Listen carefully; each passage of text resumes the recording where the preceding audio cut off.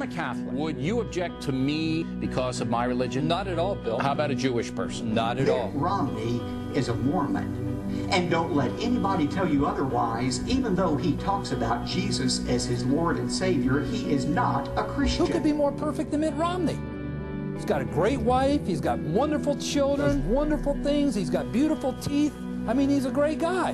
But the problem is, he's following a false theology straight to heaven.